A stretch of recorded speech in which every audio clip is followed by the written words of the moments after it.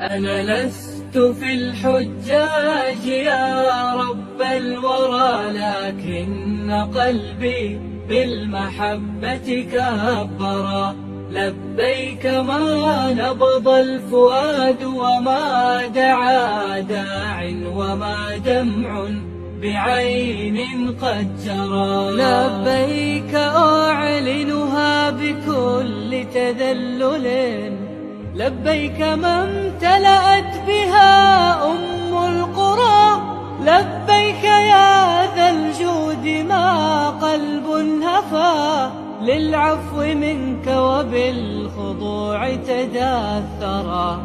للعفو منك وبالخضوع بسم الله الرحمن الرحيم والصلاة والسلام على أشرف المرسلين نبينا محمد عليه الصلاة والسلام وأتم التسليم.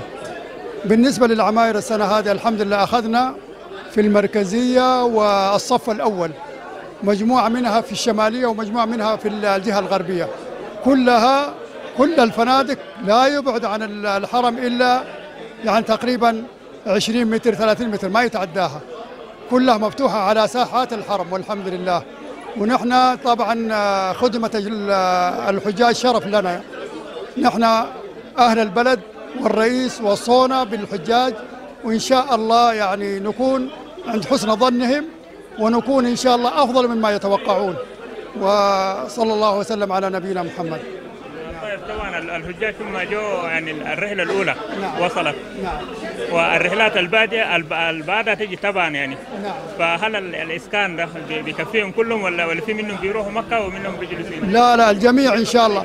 ما دام إنهم نزلوا في المدينة يكون الفنادق والغرف جاهزة بإذن الواحد الأحد. أما إذا نزل طيارة في جدة هذا طبعا يعني لا يخلوهم يوصلوا إلى المدينة إلا في الموسم الآخر. فإذا برضو ما جو إن شاء الله نحاول نجيبهم برضو في الموسم الثاني إن شاء الله. طبعا نحن العام اللي فات أش- شهرنا إنه ال- اللي بيجوا آخر رحلة.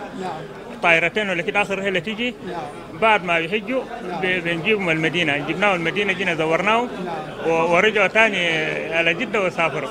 أيوه زي كده. نحن نتمنى أنهم كلهم ينزلوا في الموسم الأول لكن إذا قدر الله ونزلوا بعضهم في جدة علينا إن شاء الله نجيبهم في الموسم الثاني ونسكنهم ونرجعهم إلى إلى جدة إن شاء الله بإذن الواحد الأحد.